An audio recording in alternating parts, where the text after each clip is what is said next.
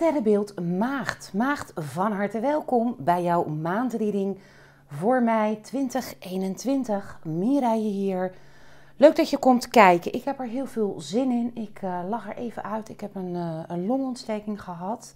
Je hoort het nog wel uh, aan mijn stem, die is nog niet helemaal top. Maar goed, we moeten het er maar gewoon even mee doen. Iedereen onwijs bedankt voor al die lieve wetenschapswensen die ik van jullie heb gehad op, op Facebook, op, op, op uh, YouTube zelf. Hè, omdat ik even gemeld heb dat ik er even niet was. En uh, ja, heel hard verwarmend. Dus dank jullie wel daarvoor. Dat, uh, dat deed mij heel erg goed. En nou, volgens mij hebben we alleen de volle maan en de nieuwe maan. Ik weet het niet meer gemist. En dan ben ik ietsje later op schema met de sterrenbeeldreadingen. Het zij zo. En ehm, ja, ben jij nou nieuw hier of nog geen abonnee? Hieronder ergens kun jij op die abonneerknop klikken. Vergeet dan ook niet om even je meldingen aan te zetten, je notificatiebelletje, zodat je altijd weer een uh, melding krijgt als ik weer een nieuwe video uh, voor jou gepost heb. En uh, ja, het, het, andere voordeel daarvan is, ik geef regelmatig hele leuke prijzen weg op dit kanaal. Nou, deze maand ga ik twee belconsulten van www.puurmedium.nl verloten voor je. Puur Medium is een uh, spiritueel uh, platform waar je sowieso terecht kunt voor heel veel spirituele informatie over heel veel onderwerpen van soulmates, tweelingzielen tot wat is nou het verschil tussen een medium en een paragnost, over chakra, sterrenbeelden, Lenormand-kaarten vind je daarop, de betekenissen ervan. Kijk zelf maar eens even een keer. Ja, en je kan er altijd gebruik maken van uh, voor een direct telefonisch consult. Ik geef er twee weg aan jullie via het credit systeem. Dan kun je 20 minuten gratis bellen naar een medium, kaartlegger of paragnost van jouw keuze. Twee keer. Plus ik heb een heel gaaf boek. Dit uh, boek heb ik uh, van Hayeva gekregen. Hayeva uitgeverij. Daar kun je heel veel boeken uh, kopen ook hè, online. Uh, tarot, astrologie zijn ze in gespecialiseerd. De maankalender vind je daar ook altijd. Dit boek is van uh, Willem Simmers en dat is uh, tarot en astrologie. Super gaaf, zeker als je hier lekker mee bezig bent. hier heb je bijvoorbeeld de koning van munten die heeft bijvoorbeeld kenmerken van het vijfde huis hier staan. En dan heb je hier weer staven 6, gaat weer over het zesde huis. Nou, superleuk en uh, er staan allemaal nieuwe methodes in en inzichten. Dus uh, wil jij kans maken op zo'n gratis belconsult of op dat boek? Laat dat even weten in een reactie onderaan deze video. Vergeet je dan niet om te abonneren. En dan, uh, wie weet, ben jij binnenkort wel een van de winnaars van die leuke prijzen. Nou, klaar weer met de huishoudelijke mededelingen. Die horen er natuurlijk altijd even bij. We gaan lekker beginnen met de tarot. Sowieso onderaan de video in de beschrijving vind je alle informatie en linkjes. Uh, mocht je willen weten wie, wat, hoe, waar. Nou, maagd, we gaan eens kijken voor de maand mei wat er voor jou mag gaan gebeuren. Zo, daar gaan we. Hartstikke idee. Zijn nieuwe kaarten. Is ook wel leuk om even snel nog te vertellen. Uh, Tarot uh, Original uh, 1909. Uh, hele mooie kaarten. Die, de kleuren zijn ook heel erg mooi. Heb je zoiets van, hey, die zijn leuk. Ik heb binnenkort een nieuwe website. Mireille Weet Meer. Daar ben ik ooit mee begonnen ook. Uh, die staat al klaar, maar die moet nog even omgezet worden. Ik geef er een seintje als dat uh, zover is. En dan vind je ook allerlei uh, kaartendeks die je daar eventueel in de webshop kunt kopen. Maar joh, dat hoeft natuurlijk niet. Oké, nog één keer voor de maagd. Daar gaan we. Voor de maagd, voor de maand mei 2021. Wat mag ik doorkrijgen? Munten 4. Oeh, even vastzitten, maagd. De full. Oké. Dan hebben we de koningin, dat ondernemen. De koningin van. Oké. Nou, maagd, dat zijn... Uh, best zware kaarten als ik zo uh, kijk. Nou, we gaan eens even met Madame Lenneman kijken wat daarin naar voren mag komen. Ik ben heel benieuwd natuurlijk. Ja, zware kaarten. Het is denk ik ook wel weer...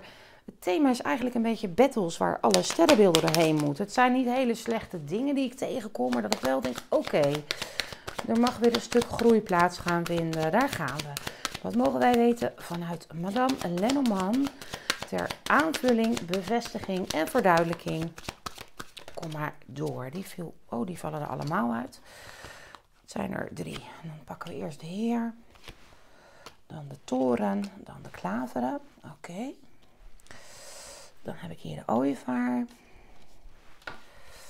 Dan hebben we daar de boodschapper, de hond, het kruis, anker en de brief. Daar pakken we even een extra kaart bij, want daar wil ik even, dat is allemaal strijd.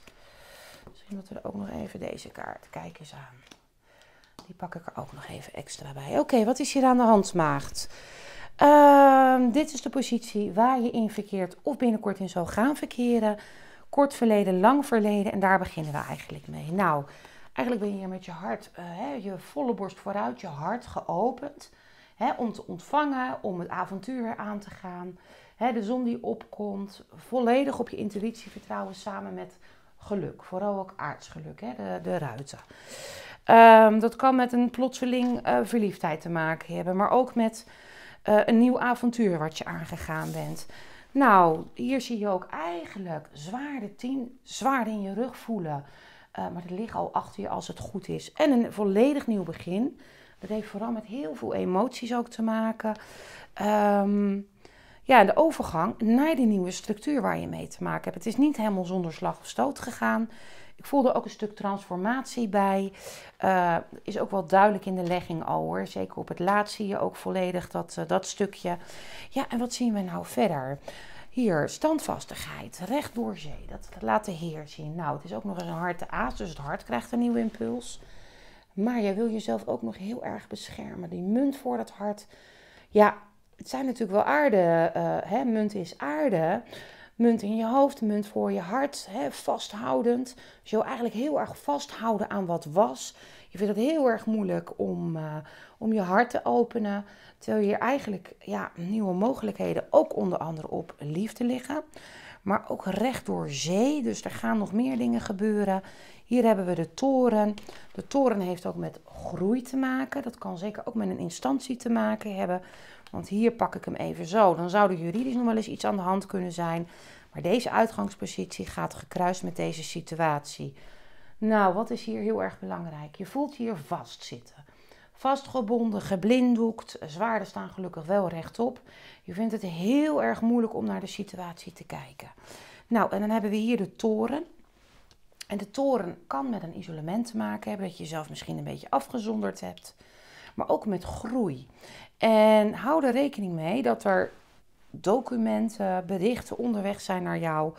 En dat zou dus echt met een belastingdienst of een, um, een ander soort instantie te maken kunnen hebben. De hond gaat ermee gekruist.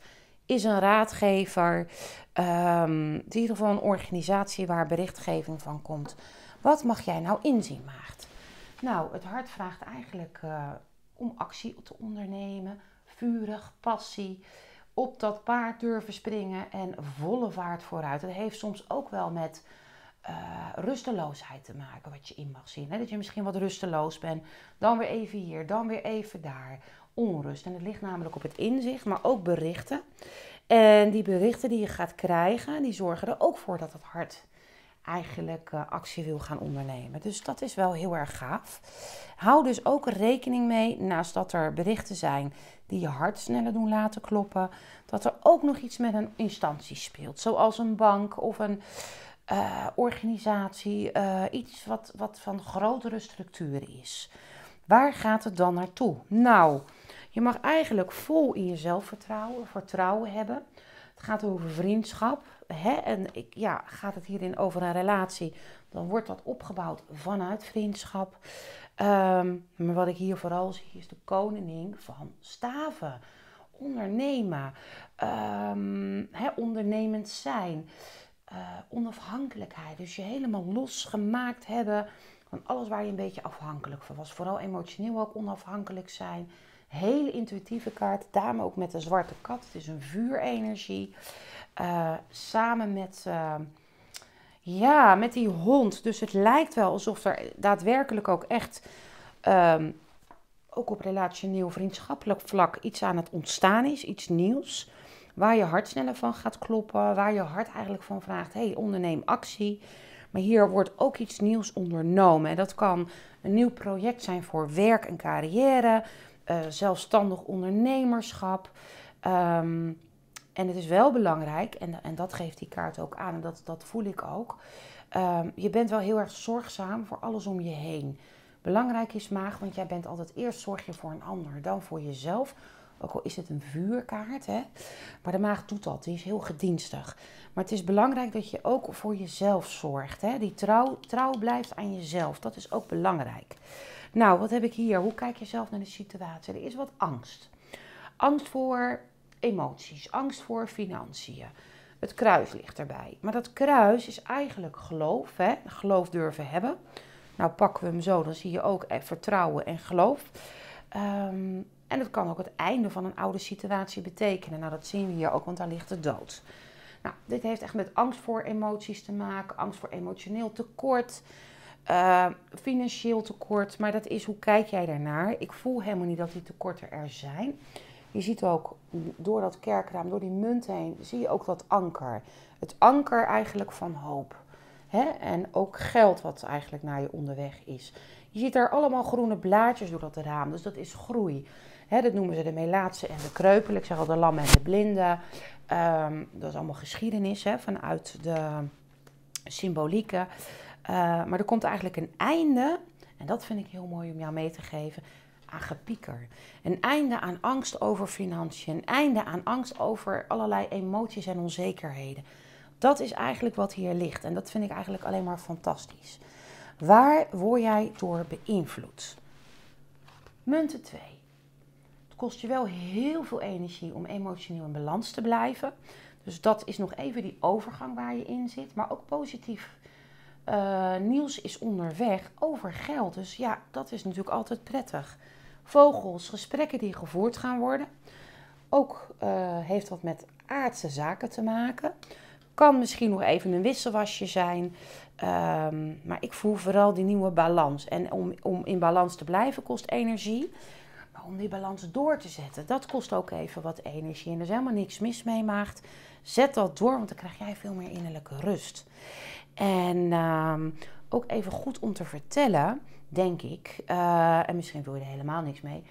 Uh, ik geef natuurlijk ook online Lenneman training. De basis, hè, level 1. Dan neem ik je helemaal mee stap voor stap. En level 2, dat is dan weer voor als je al wat basis kent. Binnenkort komen er weer nieuwe datums aan. Ik loop wat achter op schema, omdat ik natuurlijk even in de lappenmand heb gezeten. Er komt tarot komt eraan en intuïtie komt eraan. Um, hou gewoon de website in de gaten, hou YouTube in de gaten. Ik zal het allemaal melden. Het is natuurlijk wel even leuk om te vertellen. Ridder van zwaarden, hoop en vrees. Nou, dit is ook alweer net als die ridder uh, van staven, zo'n actiekaart. En deze die uh, gaat recht op zijn doel af, onstuimig. Uh, ja, wat hij in zijn hoofd heeft, daar gaat hij recht op af. Um, en dat is je hoop en je vrees. Eigenlijk zou je dat wel willen doen. Dan ben je ook een beetje te bescheiden voor maagd. Maar je kan dat wel. Kijk eens even. En dit heeft met hoop te maken, met financiën. Want daarvoor liggen die vissen zijn ook verankerd op dat anker, hè, gesmeed. Um, dus hier, hier ligt ook nog eens geld wat naar je toe gaat komen. Hier hadden we het al over een instantie. Misschien komt er wel onverwachts een belastingvoordeel aan. En heb je daar even je adviseur voor nodig. En dat zal voor iedere maagd net even anders zijn. Het kan natuurlijk nooit met alle maagden resoneren. Dus check even waar jouw maan in staat. Je maan gaat over wie ben jij emotioneel. Kijk uh, bijvoorbeeld wat jouw ascendant is. Dan kijk je naar je ascendant video.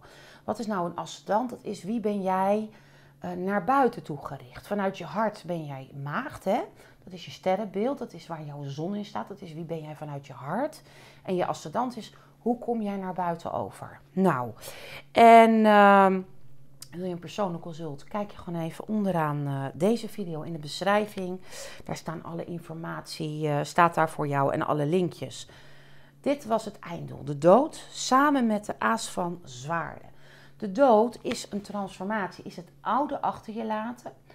En het is echt de, de Pluto-energie. Pluto loopt ook nog eens retrograde. Dus het is een hele ontdekkingstocht op identiteitsniveau, op karmisch niveau.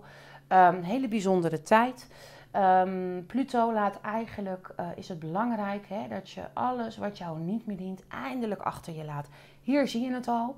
Waarschijnlijk heb je vaak met angsten gezeten over allerlei dingen, onzekerheden.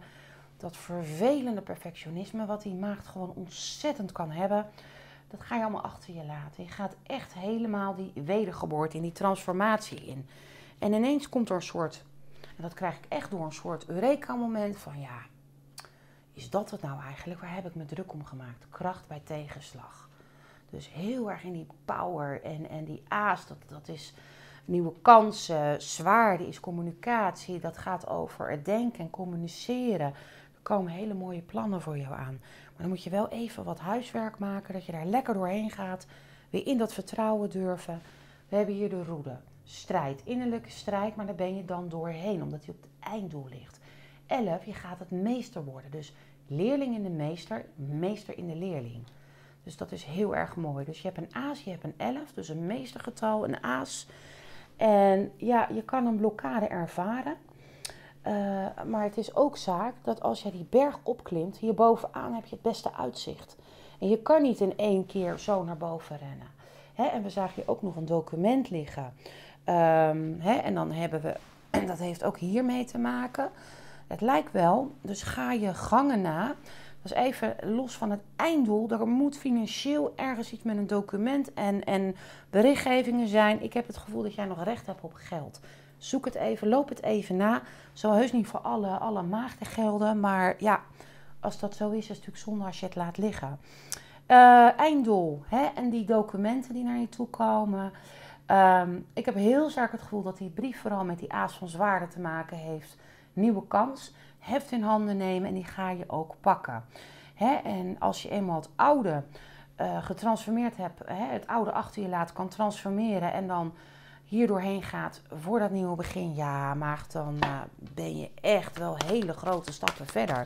Ik vind het een hele ja, mooie, leerzame legging. Het is echt heel veel groei waar jij in, uh, in gaat zitten. Dus dat is alleen maar heel erg mooi. En we gaan eens even kijken welke kleurkaarten ik jou mee mag geven. Oké. Wat ik ook nog even doorkrijg voordat ik die kleurkaarten pak. Want ik heb het hier over liefde, hartzaken, hartzaken, vertrouwen, uh, passie onder andere. Grote liefde staat het voor. Even los van de duiding verder.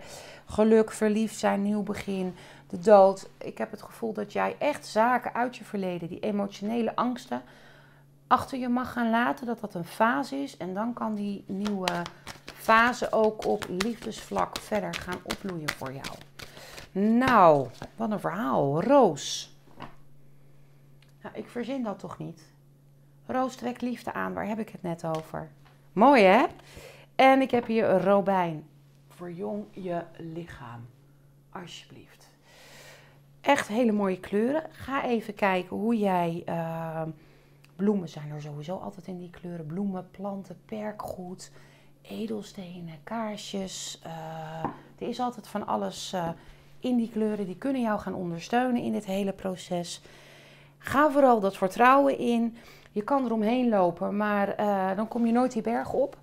Dus het einddoel is dat je die berg op gaat klimmen, dat je door die stukken heen gaat. Wat kun je maagd? Wees niet zo kritisch naar jezelf en kritisch naar de wereld. Laat dat eens even een beetje meer vrij. Dat loopt makkelijker omhoog. En moet je eens kijken waar je straks staat. Als je hier doorheen bent, fantastisch. Lieve maagd, ik hoop dat ik je met deze reading heel veel inzicht, vooruitzicht en hopelijk ook heel veel inspiratie heb mogen geven. Laat me ook even weten in een reactie hoe je de reading hebt ervaren. Wil jij kans maken op een van die belconsulten of dat fantastische boek? dan uh, zorg dat je abonnee bent. En laat in een reactie even weten waar je kans op wil maken. Gooi je duim omhoog. En bij 5000 abonnees, die tikken we bijna aan. Dus dank jullie wel, vind ik helemaal top. Dan uh, geef ik ook nog een persoonlijk belconsult van een half uur weg. Dus ik hoop dat ze gauw aangetikt worden. Wil jij de video delen op social media? Helemaal geweldig. Delen is tenslotte vermenigvuldigen. Je weet maar nooit welke maagd dit netwerk tegen kan komen en wat die maagd er dan weer aan kan hebben. Dank jullie wel. Ik wens jullie een fantastische meimaand en ik zou zeggen tot de volgende. Doei doei.